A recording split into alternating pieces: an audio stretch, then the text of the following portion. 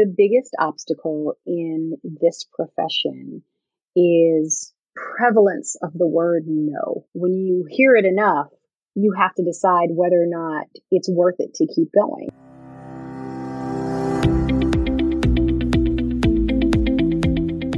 Welcome to Running is Cheaper Than Therapy podcast. I am your host, Dr. Wita L. Brown. I inspire and promote movement. I explain how running adds to life from a mental wholeness aspect, how obstacles can be overcome in life to make it to your finish line. Welcome to Running is Cheaper Than Therapy podcast, episode 46. Today I have a very special episode. I am so excited. This is pre-recorded and I am getting ready for Florida A&M's homecoming. And you guessed it, my guest is also a rattler. Kelsey Scott, my line sister, we pledge Delta Fall 93, is my guest. I wanted to release this episode around the premiere of Insecure. She plays Felicia, who is another attorney who works with Molly at the law firm. Part of my podcast is to feature guests who've overcome obstacles to make it to their finish line. And Kelsey has done just that. As an aside, during the height of the pandemic, she married the love of her life.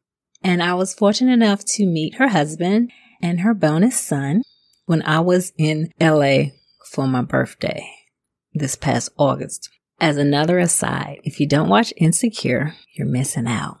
The premiere got me as soon as I heard my favorite song, Too Short, Blow the Whistle. If you ever want to see me run to the dance floor, play that song. That is my forever song.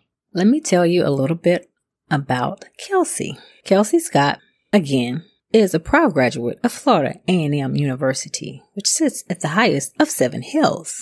She is a two-time Emmy nominated actress and screenwriter. She began her career in the theater scene of her hometown of Atlanta, Georgia, best known for her role as Anne Northup in the Oscar winning 12 Years a Slave and her two season arc as Wes Gibbons' mother, Rose, on How to Get Away with Murder. Her credits also include Insecure, as I mentioned earlier, NCIS, Dynasty, True Detective. She is a 2019 Daytime Emmy nominee for a guest star role on Giants. And in 2017, she received a Primetime Emmy nomination for her leading role on Fear the Walking Dead Passage.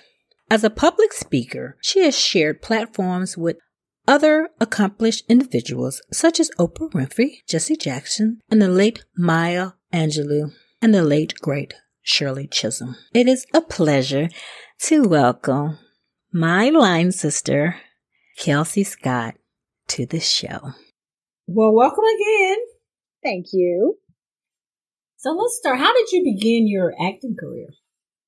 I started really young, actually. I started public speaking before acting.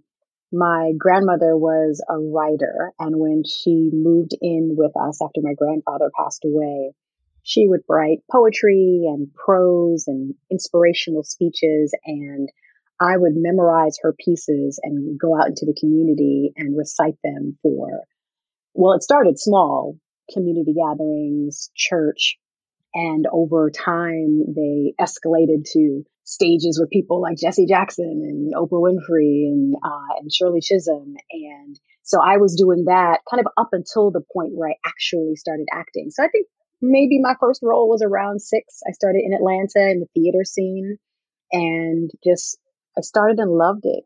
Could never get enough of it. So I think it began with just being, well, probably it began with just being a ham. Can, my mother would say that.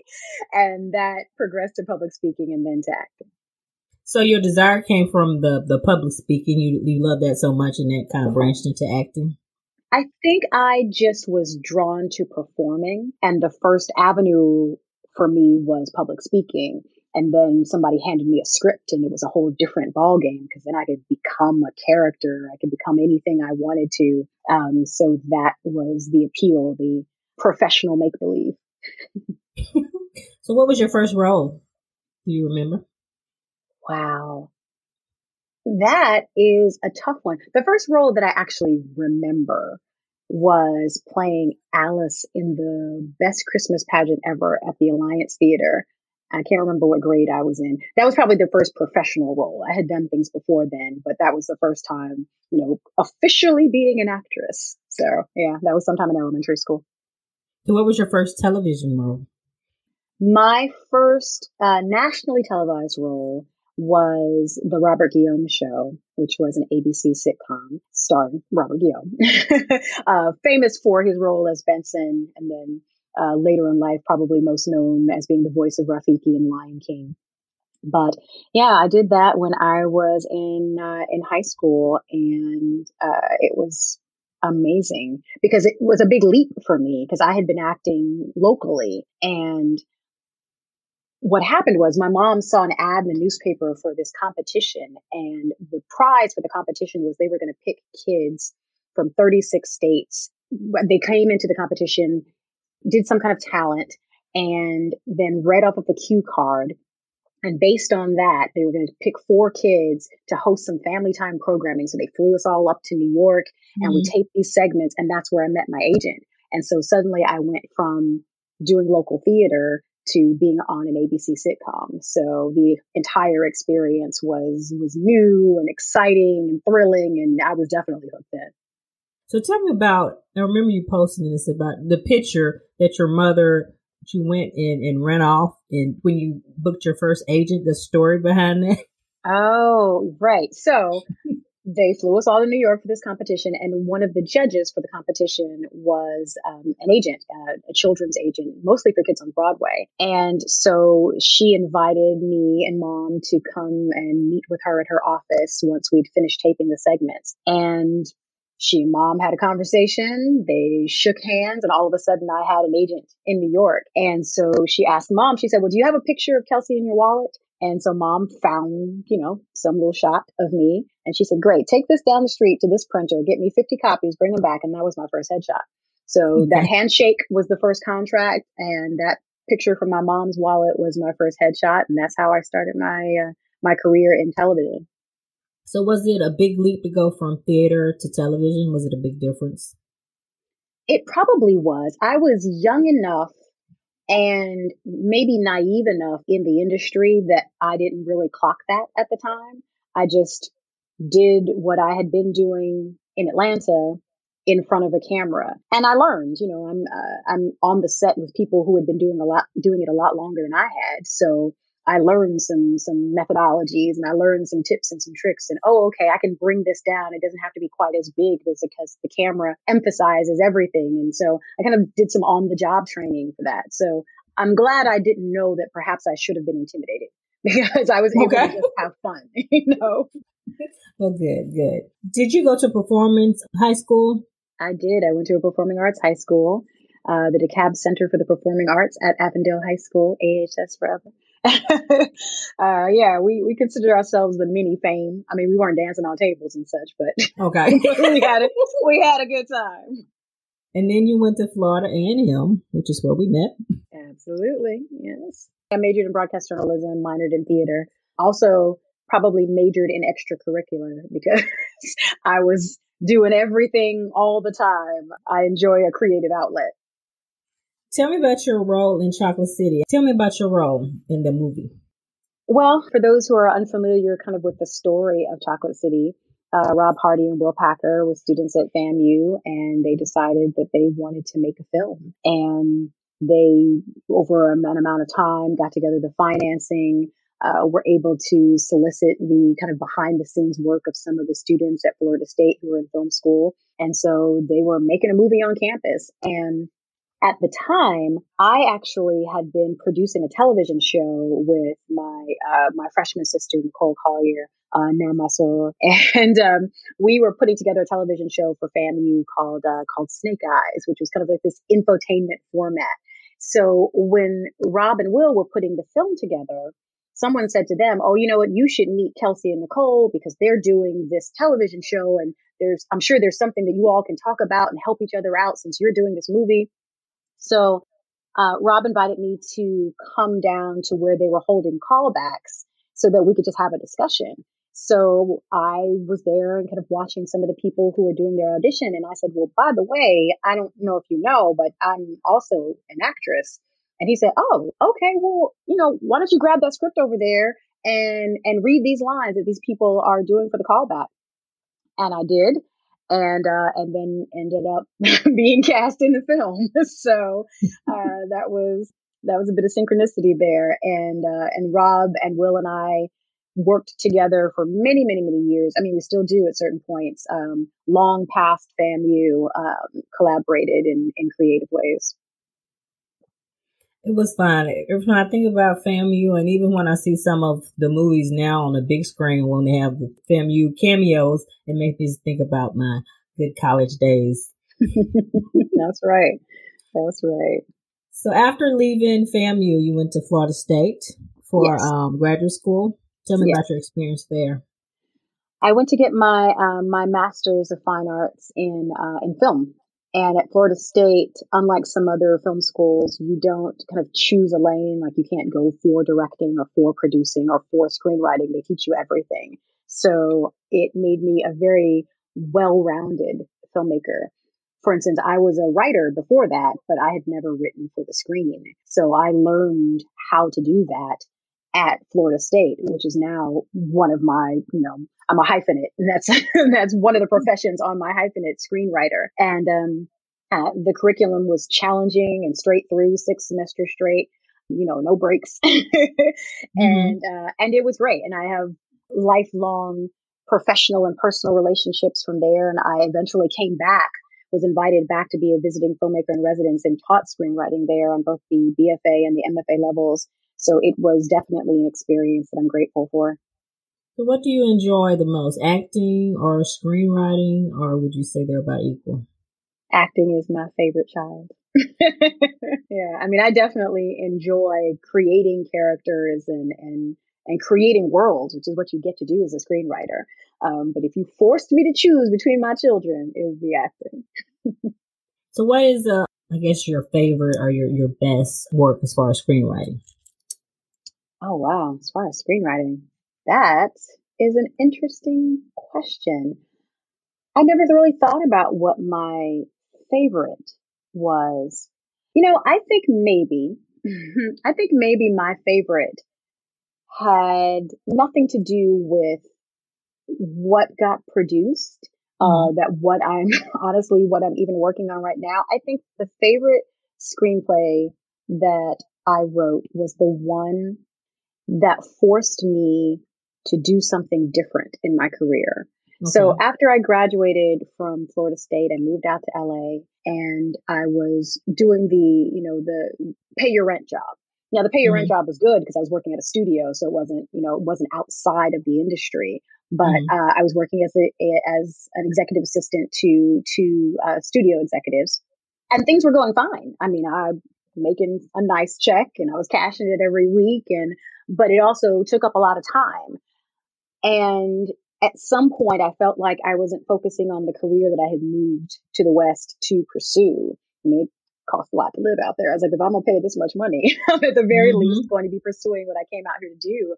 And so I had a screenplay that I had started writing when I was at Florida State and had not finished it. And I decided one day that it was important for me to finish that screenplay. Very important, actually. And so I actually went into work one day and said to my boss, look, I have the screenplay and I need to finish it. And I don't know that I can do that coming into work every day. And so I would like to take a leave of absence.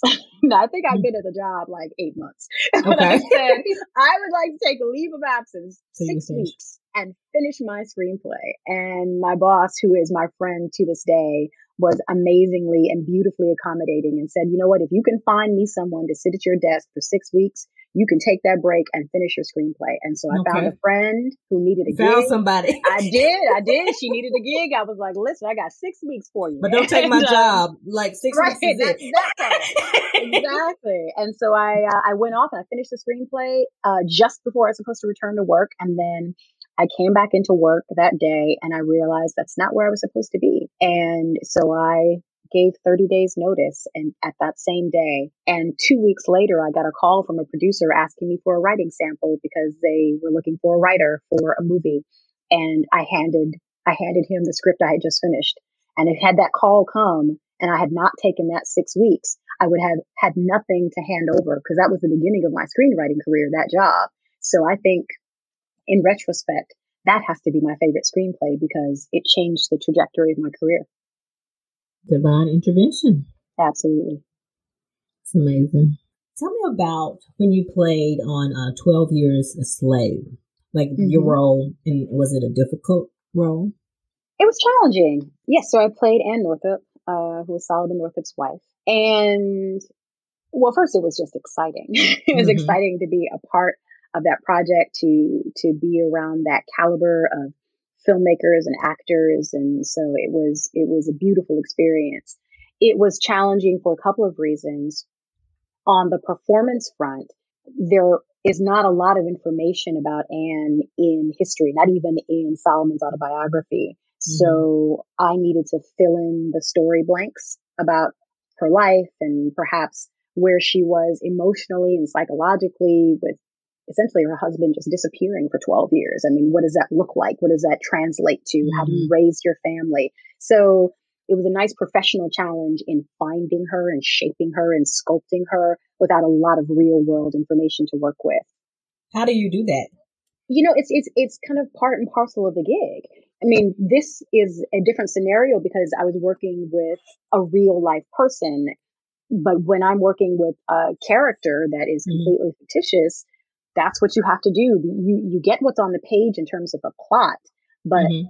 you have to flesh them out so that they're three dimensional. You don't want to just you know recite lines and say, okay, well, this is what I was supposed to say in this moment. You have mm-hmm. to go mm-hmm. back and do some character work and be like, why did she say that in that moment? That's what's going to make the scene or the project rich. Your your work that isn't given to you on the page. So in this scenario, I had to do that same thing, but be conscious that this was a living, breathing human being and really kind of feed into who she was outside of the little bit of information that I had.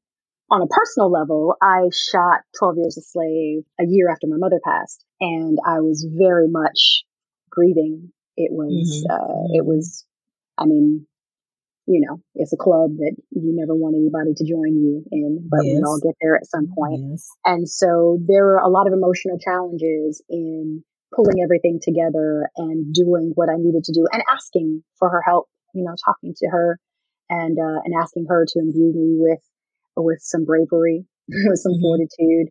And mm-hmm. so all of that kind of came together in that same project do you use like that that emotion that when you were grieving kind of to put into that role? Mm-hmm. i definitely had to. And in this situation it was actually even more difficult because for those of you who've seen the movie at the end there's you know this kind of tearful reunion. And i was not yet allowing myself the level of um, abandon with my grief that was healthy. So I was locked up. So tears weren't coming. They, you know, I was trying to, you know, that stiff upper, upper lip and that, you know, that, that straight spine and I can handle it. And so this part required something different. So even though in, in my world, in my day to day, I had the luxury of being stoic I didn't have that luxury for this character. And those were the moments that I talked to my mother in my trailer before I went on set. I was like, mommy, mm-hmm. I need to cry. Mm-hmm. I need to, I need to, I need to give over to Anne. So will you help me mm-hmm. do what I need to do in, in, in honor of this profession that I've chosen? So yeah, it was a, it was a challenge. You did a wonderful job. I remember seeing it in the theater, seeing you and, and, then seeing your name in the credits, and I was screaming, and my friends were looking at me like I was crazy. I'm like, "That's my line, sister." oh, that's great. Thank you. So tell me about other roles that you play. I know you've been on House, Grey's mm-hmm. Anatomy, but mm-hmm. and How to Get Away with Murder, which I, I love the show. But I actually took a hiatus, and then I found you were on it. I'm like, I gotta watch. So well, thank you. I, I appreciate I gotta, I gotta watch. I gotta watch. But you did a you did a great job of, of roles. Tell me about some of those roles and just working with Viola Davis and Cicely Tyson before she had passed away, and how about that experience? I have been really fortunate to work with some really heavy hitters in the industry. On House, I worked with James Earl Jones. On True Detective, I was able to work with Matthew McConaughey and Woody Harrelson. Melissa Leo for Treme, and of course Viola Davis for How to Get Away with Murder. I didn't have any scenes with uh, with Miss Cicely Tyson, so okay. um, yeah, her her character came on a little later than mine, but of course I am as professionally and personally enamored with her as as as is appropriate for the mm-hmm. impact that she had on the industry. But um, yes, working with Viola was it was beautiful you know, and it's also really nice when you admire someone from afar, uh, both professionally and just kind of, you know, what it is that they put out in, into the world of their personal selves. And then you meet them and they live up to or exceed your expectations. And so what was just great about working with her was one learning. You know, I'm used to on the job training. Like I said, when I when I got that first television show, I didn't know a whole lot about television, so I try to be a sponge in every situation. So I was grateful to be able to be a sponge around her. And people who are at the top of their game, they challenge you to up your game. And so mm-hmm. all of mm-hmm. that was a great experience. And then she's just a good person she's just cool. It seems like yeah, and she is, you know? and so that made it that made it even better. You know, you, you you like to find out that the people that you that you think you like, you actually can like. wonderful, wonderful, wonderful. Season three, we will continue the new segment called Ask the Doc. If you have any questions related to musculoskeletal injuries or musculoskeletal health, go to my website www.weouilife.com. Click on the tab Voicemail, leave your voicemail, and select messages will be aired and answered on the segment. Now, back to the show. Um, I know you can't spill the tea, I should say, about Insecure, but I, I know you're you play Felicia, a lawyer. You work with Molly. Tell me about that experience. It's one of my favorite shows. I, I watch every episode at least three times, and then I listen to oh. a, a, podcast on it. I think it's called Insecuritea. Uh, Insecuritea. So I like I like just my my second favorite show. okay, all right. I'm curious about the first, but okay, we'll just we'll go with it that's been a lot of fun. The other thing is, second to meeting someone, uh, a professional that you have admired and and ending up kind of bonding with them, is being able to be on a show that you watch. So mm-hmm. I was a fan of Insecure, so it was a fun thing to be able to, you know, walk on set and be a part of the magic, and uh, and it still is. And I love seeing so many people of color behind the camera uh, on camera and behind the camera. You know, I love that. Listen, one of my favorite um, experiences was the first episode that I shot, and I met Issa in the makeup trailer, and then she did her scene, and then she changed clothes, and she was behind the camera running things, and I was like, now see, I like that. the idea that you know she had that creative control and that she you know switched modes with with a costume change that's that's inspiring because I work both in front of and behind the camera. So to see someone doing it at that level uh, is motivational. So no hints on, on, hints on anything else. Like what's gonna happen? Not a bit. Nope. All right. Nope. Nope. Sorry. And Molly. okay. Mm. All right. We just gotta stay You'll tuned. see soon enough. stay tuned. Okay. So part of my podcast is to have guests who have overcome obstacles to make it to their finish line. Can you tell me about some obstacles you've had? You mentioned some of them, um, personal and professional, and how you overcame. I think probably the the biggest obstacle in this profession is prevalence of the word no. Mm-hmm. You'll hear it a lot more than you will hear yes.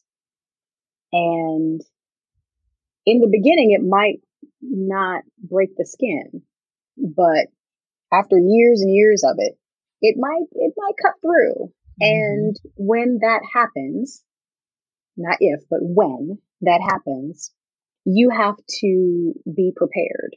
You have to have already collected the tools or assembled the tribe or put a firm footing in your faith or whatever it is so that you don't take that to your person.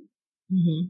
You attribute it to the profession, to the MO for how this goes, but it can, it can slice and those are usually the turning points. When you hear it enough, you have to decide whether or not it's worth it to keep going. How much do you love this? How much do you want this? How much can you invest in this logically in your life and still survive? And so the yeses come, they will come, but you have mm-hmm. to get to them. Yeah. um, so I think that that's a daily struggle. I mean, I'll say last week I had a bad week. mm-hmm. I was submitting an audition and it just was not connecting for me and I wanted it so badly and mm-hmm. it just it just it was not the day. And an actor friend of mine, uh, actually after that bad day, I talked to him about it and he said, you know, the thing about performers is we don't allow ourselves to have a bad day. Everybody else mm-hmm. gets them and every other profession, you know, and then you, you go home, you, you wipe it off and then you, you go in the next day. But for some reason, artists feel like you can never have a bad day. And maybe mm-hmm. it's that whole idea of the show must go on that we've been, that's been drilled into us from the very beginning. And so we feel like if at any point we're not absolutely at our best, then we've failed. But that's not the truth. But sometimes when you're in the dark, that's hard to see. So I think in general, in terms of the career, the biggest obstacle is just staying in the game. You can't dance if you're not at the party. And so you have to prepare your world, your home base to support you when you feel like faltering or you feel like quitting or you feel like you are a failure because of that one mm-hmm. no, that one no. So I think, I think that's probably a general challenge just for the industry in general and in, as a whole. And that's for all artists, not just for actors. And then, yes, I have shared some other challenges that have, uh, that have impacted me, um, as a person, as an artist. My mother's death was a, uh, and remains a huge one. You know, it's just, it's a, it's a pain that never actually goes away. It, you know, sometimes it hides from you. Sometimes it's less, but it's never gone. So that's something that I had to recommit myself to, to my place in the world when she passed. And that, that's professional, that's personal, but she sits on my shoulder and she's, she's with me all the time. And, and every once in a while she's like, girl, if you don't get up, like, all right, mom, I'm getting up. I'm doing it. I'm doing it. It's beautiful. I know how you feel. I know. Yeah. So, my podcast is it's called Running is Cheaper Than Therapy, but it's based on movement from a holistic aspect. I know movement is important to you because I remember on our 25th line anniversary, you're the only person who got up and did the bike ride with me. and so I know fitness is important to you. What does movement or fitness mean as far as your mental health and your overall well being? It's really important. Sometimes a good sweat can can just cure things or at least put them in perspective so that they don't seem so big. I will jump on a treadmill in a second. I'm I'm less likely to run outside nowadays. I used to do that, but um, you know, I got tired of stopping at stoplights and corners And I was, Yeah, it's nice a trail. It's nice on the trail. Yeah also, if I run on the treadmill, then when I'm watching television, I can, um, and I'm, I'm multitasking and, and I can justify just sitting, quote unquote, sitting still and watching television. I'm like, no, no, no, no, I'm doing it while I'm working. but, um, Yeah, no, I'm a bit of a workout junkie. So cathartically, it's usually running. Um, okay. but I, you know, I bike. Do you have a Peloton? I bike like as in a bicycle. Okay, I'm I not got you. In person. I just, I'm sorry, it hurts. I'm not. I'm not the one. I've tried multiple times with multiple instructors. I, yeah, it's, it's not my thing. But I will get on a real bike and I mm-hmm. for miles. And then I like sports. I'm not particularly good at them. I'm not horrible, but you know, I'm not going pro anytime soon. What sports do you do you do you like? Uh, I like to play now because we're not talking about it as a spect- spectator. So I like to uh, I like to play basketball. Okay. I I like tennis. I used to play soccer as a child, so I still have an affinity for soccer. I think those are probably the top three. Yeah, I think that's it. So 2020 and 2021 has been a rough year with the pandemic and COVID, and people suffered a lot of loss, whether it be personal, from this emotional aspect, or losing family members, or financial aspect. But you have mm-hmm. a beautiful story that came out of the pandemic. You were married and were featured in Essence magazine. Tell me about how you met your husband and your wedding. so we met at the opening night reception for a play in Pasadena. We were both in attendance and it was a crowded lobby full of people, you know, congratulating actors and, uh, and mingling about. And so, uh, Malik, my husband, uh, was on his way to congratulate one of the actors who was in the play. And like I said, it was, it was kind of crowded in there. So I was literally in his way, just in his way. And, uh, the story as he tells it is that he could have said, excuse me, and gone past, or he could have said hello. And he chose to say hello. And that sparked up a conversation. And that was, that was the beginning. So we met in the summer of 2019. Mm-hmm. We were engaged by that December and uh, and then married last year. So we had been planning um, an in-person wedding like anybody else would. Mm-hmm. And then the pandemic hit and uh, it was not safe for our family to travel, for people to convene. And we talked about whether or not we wanted to postpone the ceremony until after this thing was over. Of course, we had no idea that it was going to be as big and as long as it has mm-hmm. been. But ultimately, we decided that we didn't want to postpone the wedding. So we said, well, how are we going to do this? and uh, we actually ended up getting married in our living room. And we had a real we had we'd had a very large guest list for the in-person ceremony but when we decided to do it on zoom which is what we did we said well we'll just invite immediate family and uh, the wedding party. And then next year we'll have this big reception with all the people that we wanted to invite. Now is next year and i'm not really sure that's going to happen because we're still in the middle of this thing. But our ceremony was perfect you wouldn't you wouldn't think so. You'd think, oh, it's it's it's Zoom and how can you be connected? But somehow it was everything that it could have been. And it was in our home and it was in our living room and our closest family and friends were right there and they were up close because there was a camera. So they're not sitting in the back of some hall trying to see a detail. Um, and it was amazingly intimate. And so because we could not have a reception with friends and family, um, we did decide to have a photographer and her idea, Maya Darasal, was to, instead of doing kind of your traditional wedding photos, mm-hmm. to hop in the car after the ceremony and take pictures around the city of LA that spoke to our story. So for instance, our first date was at a bookstore. So mm-hmm. we uh, we took some shots inside a kind of famous bookstore here in LA called the Last bookstore. Nice. Mm-hmm. So, um, or the fact that we're both artists, so we took pictures in front of the Disney concert hall, or you know, so we were able to tell our story in pictures. And, you know, we, we love the experience. We are forever grateful to Maya for capturing our day in that way.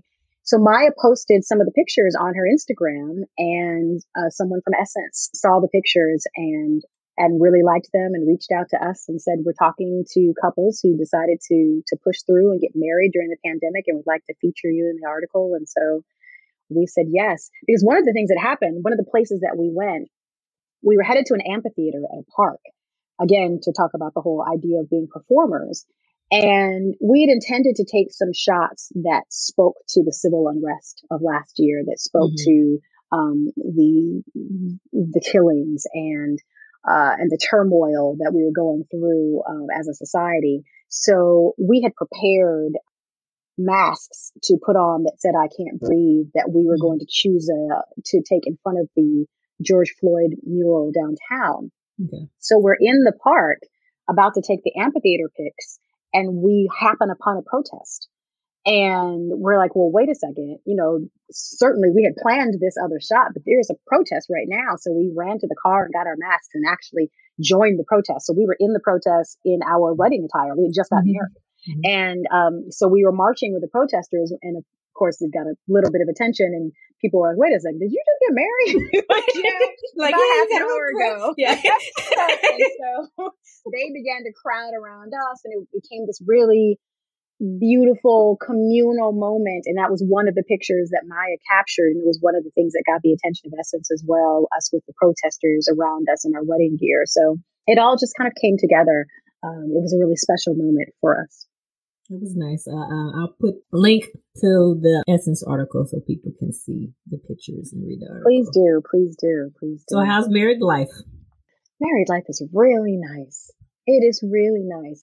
You know, you don't really have context until you're in it. I've been a an independent woman for for a long time, and I had the appropriate amount of fear that oh my gosh, this is going to be so different, and it is so different, but it's a great difference.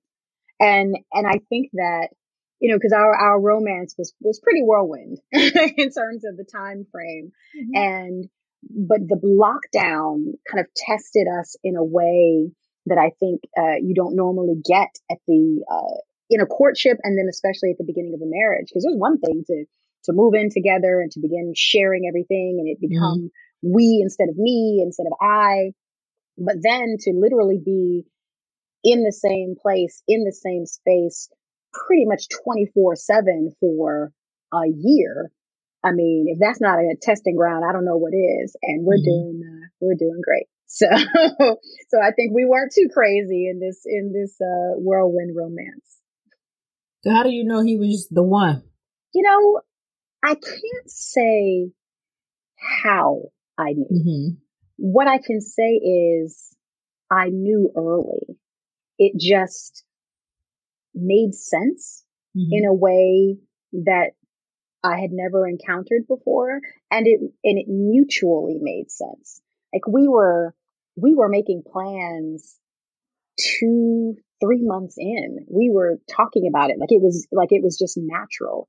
Uh, so I don't know what the how is. Okay. I had I had heard people talk about you know when you know you know, and that sounded really great for like a rom com, but I didn't know how much it really worked for the real world. You know, I was like, all right then, sure, when you know you know, whatever. uh, but but but when I knew, I knew. Any last minute words of advice for my listeners who are interested in acting, screenwriting, producing, or just any words of advice as far as life and overcoming obstacles? Because it's rough out there sometimes. Yeah, yeah it's, it's, it's a little hard right now. Oh, wow. Professionally, I would say if you have the luxury to pursue your passion, do it. Yes.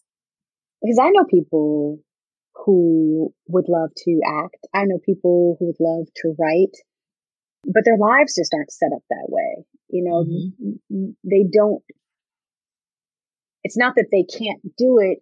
It's that they can't do it in the life that they have right now. And that mm-hmm. might change. And I hope it does for everyone who mm-hmm. has this dream. Mm-hmm. Um, but if you're not in that situation and this is something you really, really want, I think you owe it not only to yourself, I think you owe it to the people who want it and for whatever reason don't have the luxury of pursuing it. I think, I think you honor them by honoring your own passion.